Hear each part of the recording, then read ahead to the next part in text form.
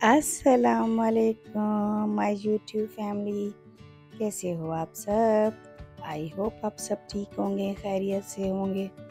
मैं भी ठीक हूँ, अल्लाह का शुक्र है, अल्लाह का एहसान है। ये कहीं घूमने जा रही थी बोर्ड में तो सोचा अपने व्यूवर्स को भी दिखाती चलूँ। ये अभी मैं रोड पे खड़ी हूँ, अभी रोड क्रॉस नहीं कर सकती। जब ये ग्रीन नहीं हो जाएगी तो फिर हम रोड क्रॉस करेंगे, उसके बाद आगे जाएँगे। आपको दिखाएँगे आगे।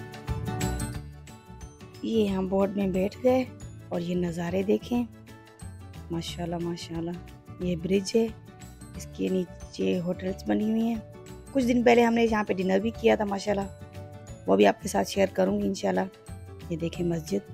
वाह कितना खूबसूरत नज़ारा है।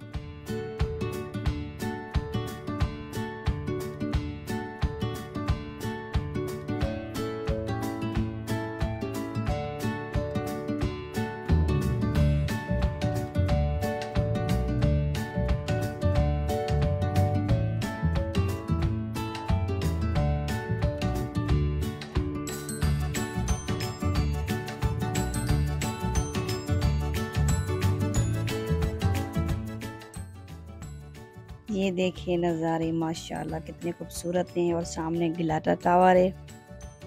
ये ब्रिज है उस पर जो सारी होटल्स बनी हुई हैं, ये इसकी रोशनी है। और ये बड़ी शिप आ गई, जो हमें देती है पाँच छः दिन का यूरोप का टूर देती है। माशाल्लाह माशाल्लाह। काफ़ी खूबसूरत है, बड़ी बोर्ड है, माशाल्लाह। शिप पे मतलब कहलाएँ, मुझे तो इसका ज़्यादा इल्म नहीं है तो क्या बोला जाता है?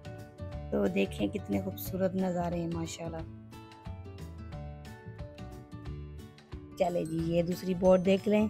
इसके तीन तबके बने हुए हैं और ऊपर नीचे सब लोग बैठे हुए माशाल्लाह। नज़दीक से तो ज़्यादा दिख रहे हैं, यहाँ पर पता नहीं दिख रहे नहीं दिख रहे। ये खूबसूरत नज़ारे देखें, माशाल्लाह माशाल्लाह। आए घूमें, फिरें। तुर्की घूमने जैसा है, माशाल्लाह। माशाल्लाह, कितने खूबसूरत नज़ारे हैं। ये देखें, वो ब्रिज है, जो एशिया और यूरोप को मिलाती है। चौदह अगस्त के दिन इस पे पाकिस्तानी झंडा बना था, माशाल्लाह। हमें पता नहीं था, पता होता तो हम ज़रूर आते। तो इन फिर कभी जब होगा तो फिर आपको ज़रूर दिखाएँगे। इन इंशाल्लाह। सोचें ये पाकिस्तानियों से कितना प्यार करते हैं। अब इससे अंदाज़ा लगा लें इन्होंने, पाकिस्तान का झंडा बनाया।